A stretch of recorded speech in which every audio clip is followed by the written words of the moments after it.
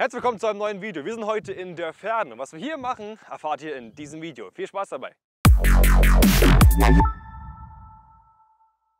Heute sind wir im Hause Voice Acoustic und schauen uns an, wie die Firma arbeitet, wie die Arbeitsatmosphäre ist und wie der ganze Ablauf überhaupt ist. Viel Spaß dabei!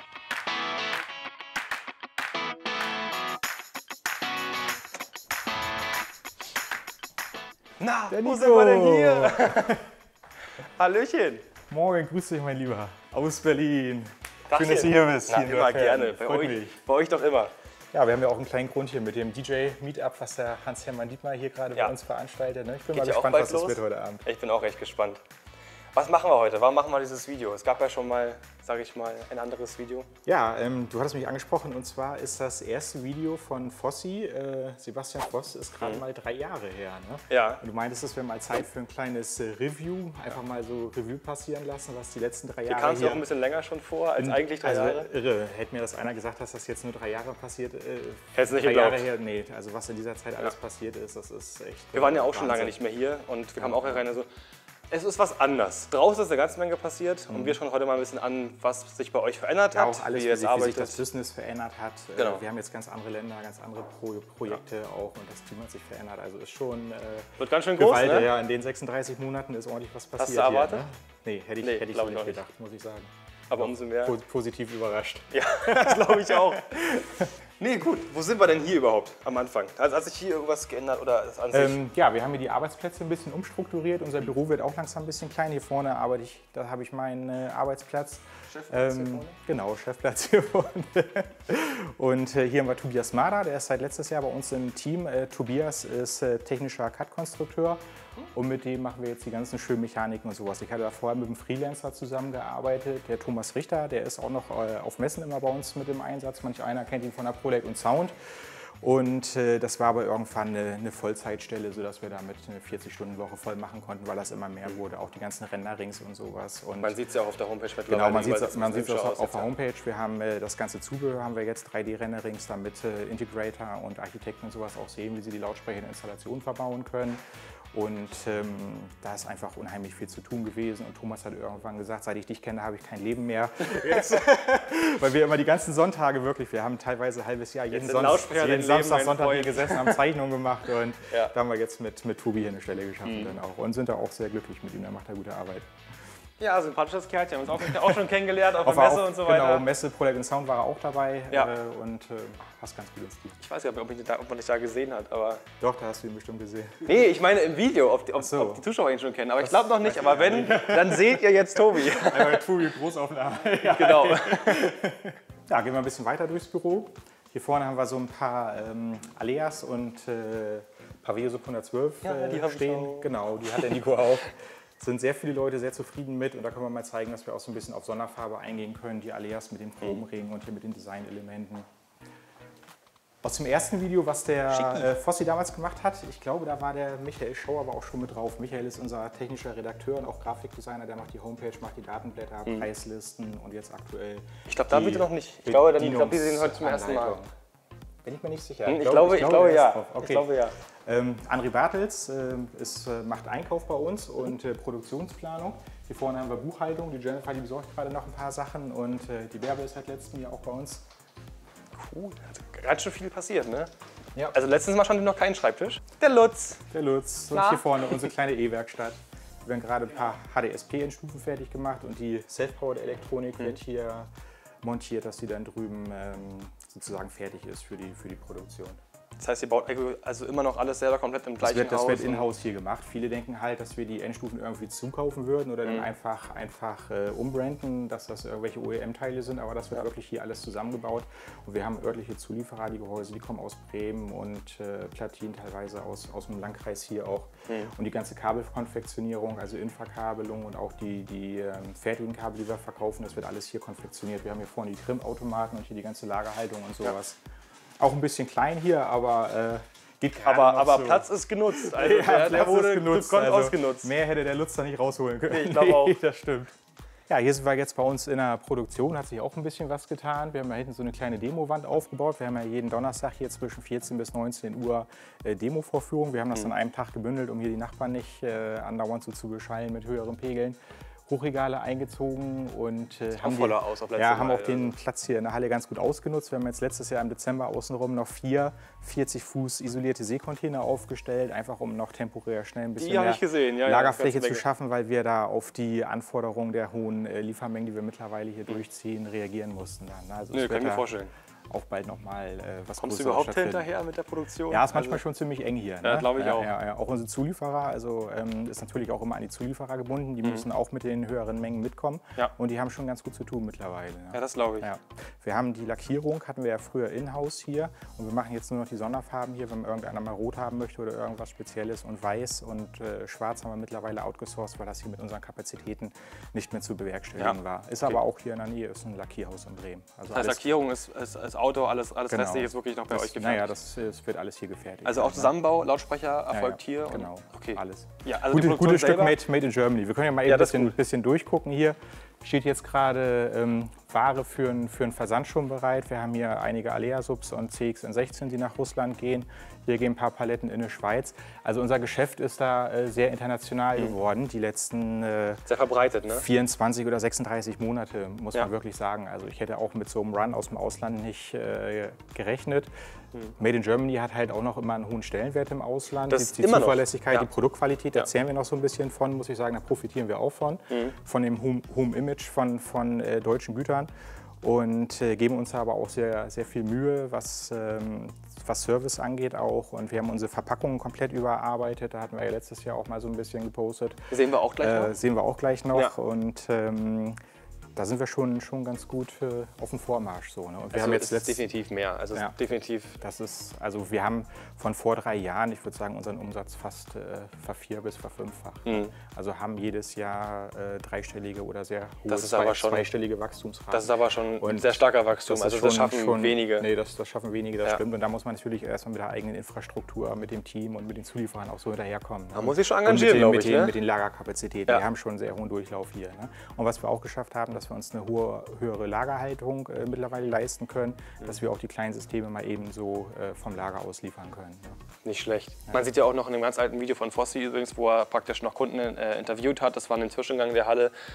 Da hat man doch damals noch eine relativ ja, viel Freifläche im Regal gesehen. ähm, jetzt sehe ich keine mehr. Also es ist hier keine, wirklich keine Palette mehr mit rein. nee, Palette an Palette, Karton an Karton und Gehäuse an Gehäuse. Das ist ja wirklich äh, close. Also selbst die ganz großen Gehäuse in der Höhe. Also ich glaube, da Unser, unser deutscher Markt der ist, ist sehr gut gewachsen. Also wir Mhm. haben viele, viele Kunden aus dem äh, deutschsprachigen Raum dazu gekriegt. Ja. Äh, ist auch sehr schön, jedes Jahr so die Entwicklung auf der Messe zu sehen. 2015 waren wir halt das erste Mal als Aussteller auf der ProLight und Soundmesse. Mhm. Und damals mussten wir noch jedem erklären, wo wir herkommen, was für ein System wir haben. Hersteller Ja. aus Niedersachsen, das und das machen wir, dafür stehen wir. Das ist unsere Systemphilosophie. So 2016 kannten uns schon einige. Dann kamen auch so die ersten kleinen Rental Companies an und Live-Bands.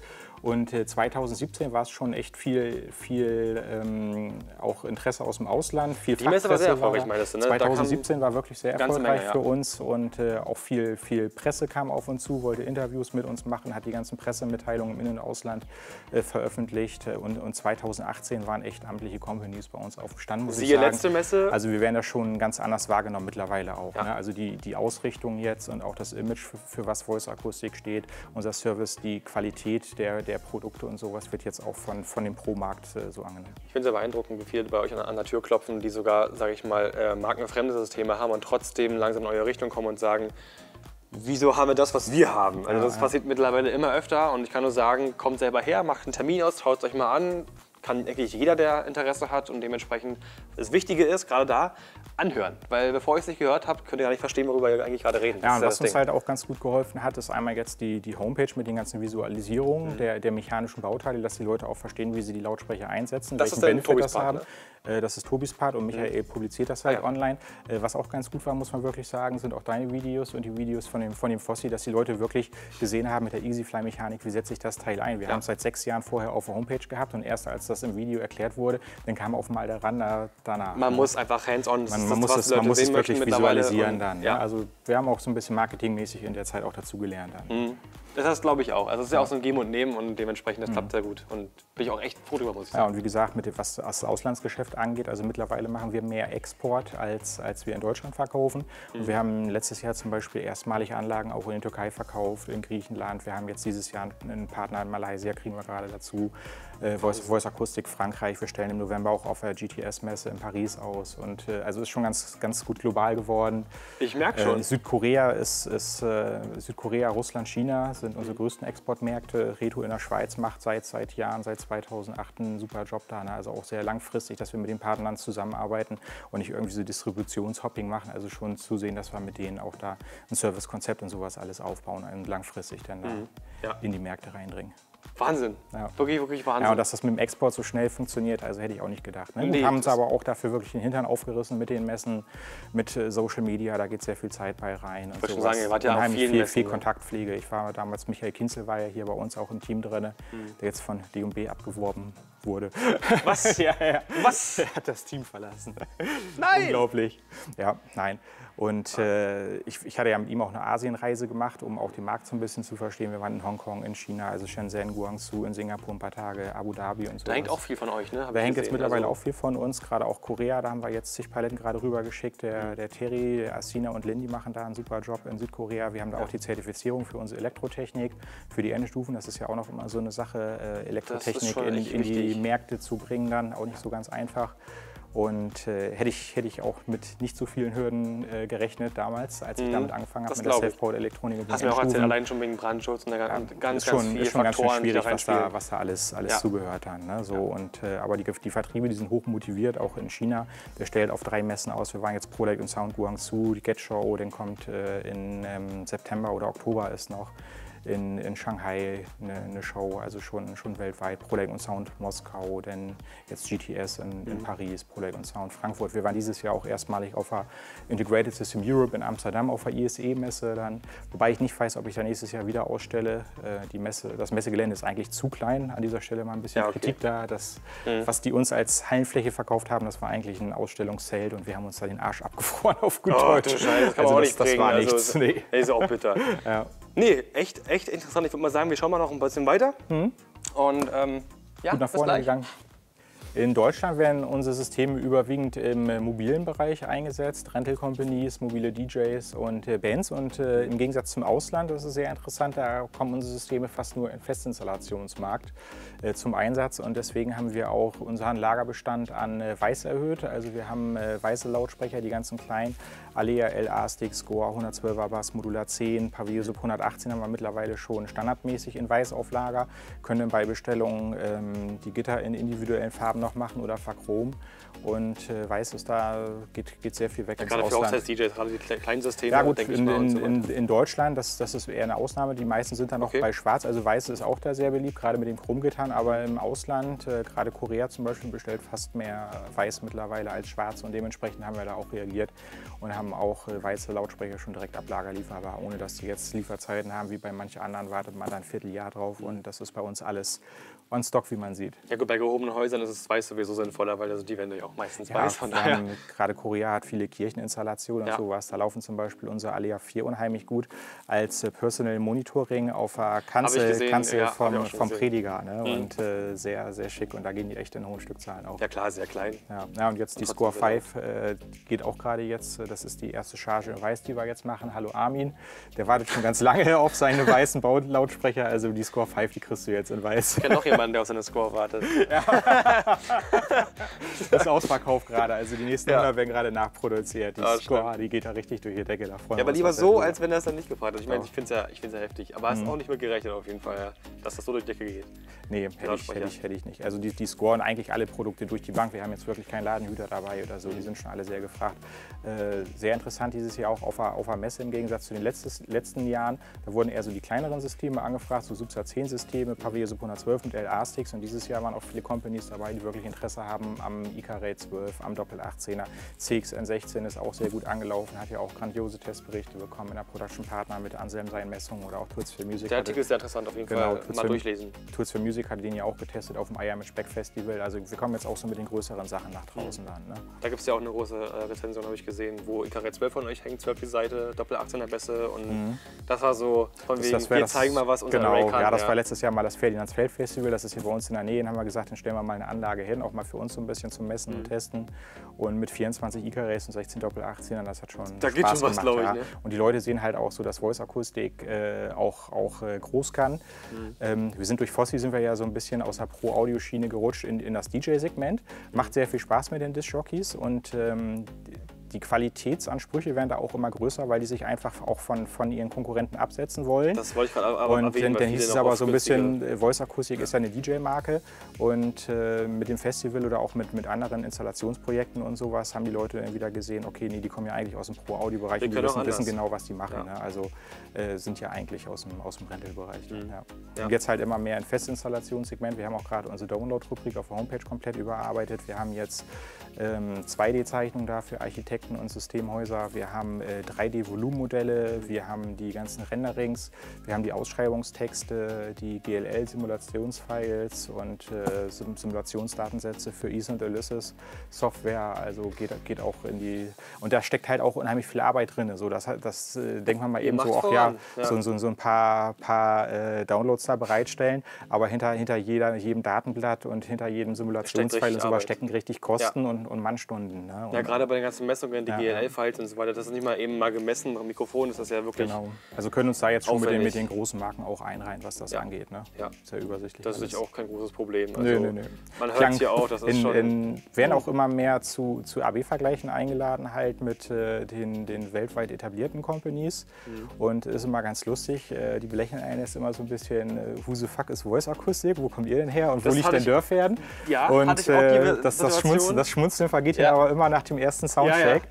und aus den AB-Vergleichen, da gehen wir immer ganz gut hervor. Also Nach den Songs, die ich von dir bekommen habe, vor allem, das, die sind ja sehr darauf gemünzt, sage ich mal. Also ich kenne es selber von wegen so, naja, die sagen immer so von wegen, ich kenne das nicht, nee, er nicht. Mhm. Dann zeigst du es dir und dann kommt auf einmal so, äh, Okay, kommt auf meinen Rider rauf. Habe ich schon gehabt mittlerweile. Auch, auch diese, diese, diese Rider-Diskussion, das ist halt so, da sind Marken irgendwie drauf, die seit 20 Jahren am Markt geht. Das dauert halt eine Weile, bis man da ist, aber ja. das hängt auch immer so ein bisschen davon ab, wie gut kann sich die Company mit ihrem Material verkaufen. Wenn man da mit dem, mit dem Techniker, mit dem Systemer der Band vorher ein Telefonat führt, dann ist das auch erledigt und dann freuen die sich darauf. Die gucken auf der Homepage, die googeln vielleicht und sehen da gute Rezensionen und auch die Testberichte und sowas und dann akzeptieren die da auch das Material.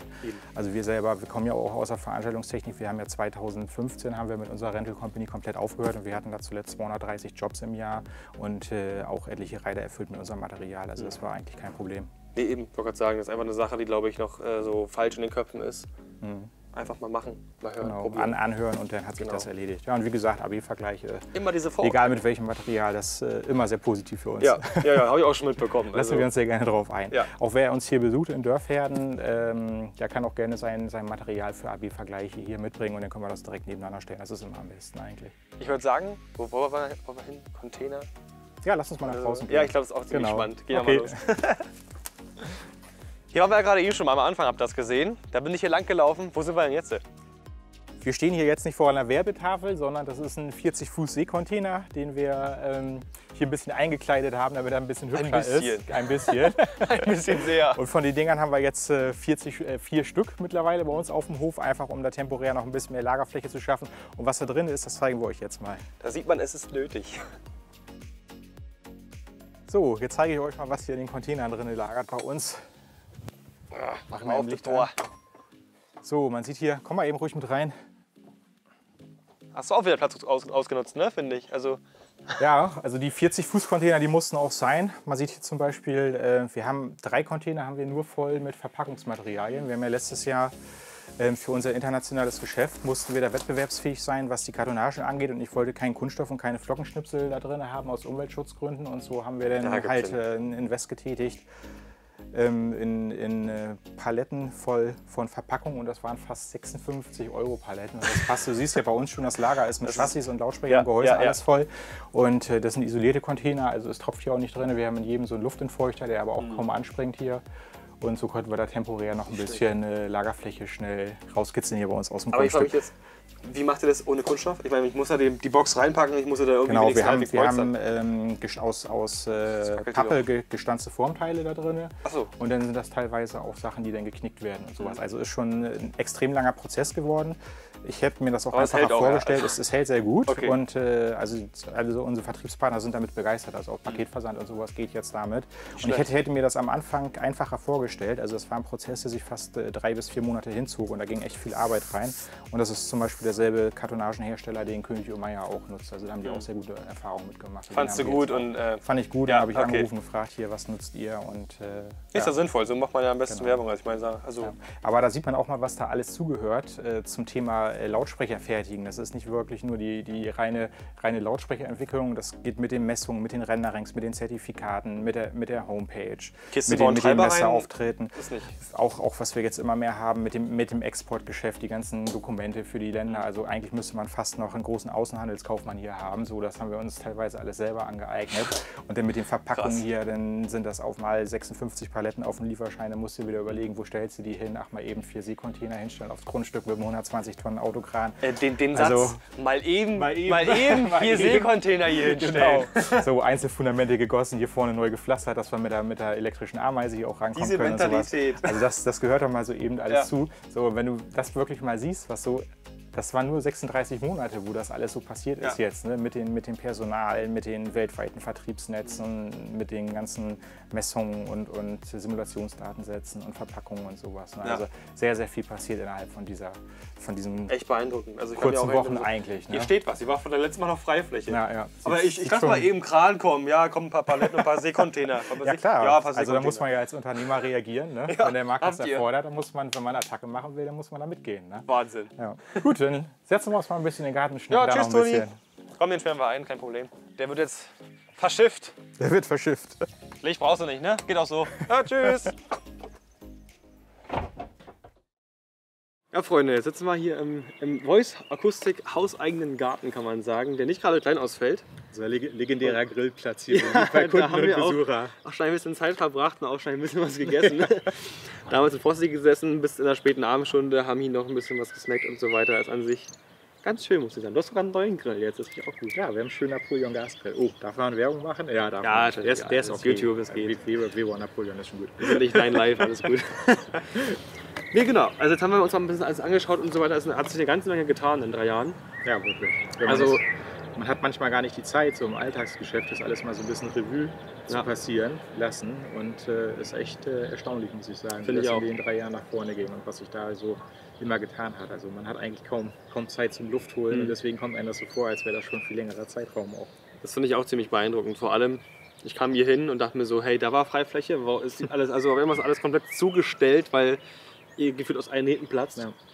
Ähm, wo ich, gute Teamleistung.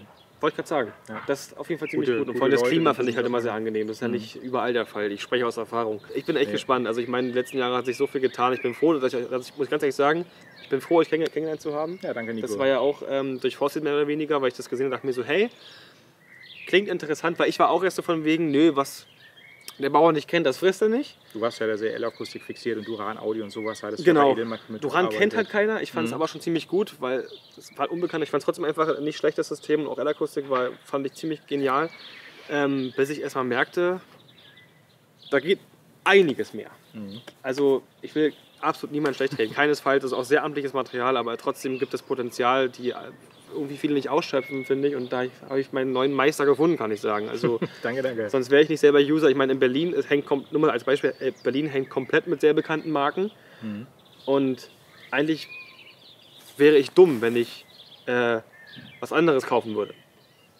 Aber ich habe es für mich so entschieden. Aber du hast auch irgendwo ein Alleinstellungsmerkmal so und die Nachfrage nach Genau. dem Material ist ja jetzt auch da. Ne? Das merkt Auf man jeden- ja auch ja, in, in Vermietung. Also wir haben äh, seit, seit äh, Jahren arbeiten wir ja schon mit äh, Bestandskunden zusammen. Wir haben eine extrem geringe Kundenfluktuation. Also wer sich einmal für Voice Akustik entschieden hat, der bleibt bei Voice Akustik und ist einfach auch schön, so das Wachstum zu sehen, was Ja. da mittlerweile für große Betriebe draus geworden sind und die teilweise äh, über 100 Lautsprecher bei uns im Lager haben und auch hier Großveranstaltungen mitmachen und das gibt da keine Diskussion, auch mit den Fremdtechnikern und so und das ist eine sehr gute Entwicklung einmal bei uns. Mhm. Durch die Vermarktung der Produkte auch und durch die Qualität, aber auch bei den, bei den Kunden, die einfach über Jahre so äh, betreuen zu dürfen. Und da sind wir sehr, sehr dankbar über diese Stammkundschaft auch. Ne?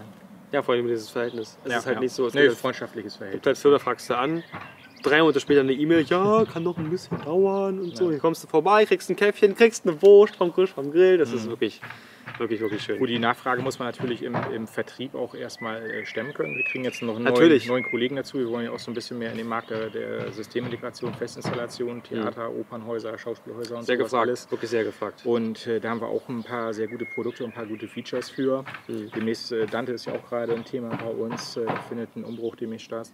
Und, Sind wir auch sehr großer Fan. Kriegen wir auch einen neuen Kollegen jetzt aus Hannover demnächst, der, der aus diesem Bereich kommt, mhm. äh, Erfahrung mit der Branche hat, da sehr gut vernetzt ist und der wird das Team da im Vertrieb auch unterstützen in diese ja, Richtung. Das ist gut. Ja. Also auch zukunftsbewusst kann man, merkt man, man bleibt nicht bei den alten ja, Sachen. Nee, immer, immer so Step, Step, by Step ein bisschen. Ne? Ja, klar. Das geht, geht alles dazu. Also einmal, einmal die Leute, dass man damit. Ja, man darf nicht hinfahren, man, man, darf sich halt nicht übernehmen und das nee. ist halt äh, der Fehler, den leider einige machen, aber das mhm. sehe ich auf jeden Fall nicht, deswegen ganz gut. Und deswegen bin ich auch immer noch, ich bin ja auch selber Voice Akustik User, für die, die es nicht wissen und äh, das hat, wie gesagt, erwähnt, hat ja auch einen guten Grund. Aus Überzeugung, glaube ich. Pur. Also Pure er, wurde, er wurde, wurde nicht ja. bestochen, außer mit Nackensteaks nee. und Bratwurst. Ja.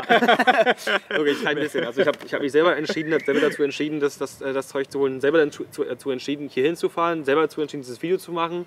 Dementsprechend Hashtag NoAd, es ist wirklich eine freie Entscheidung und äh, das sollte was heißen, denke ich. Ja. An sich hoffe ich, hat das Video gefallen.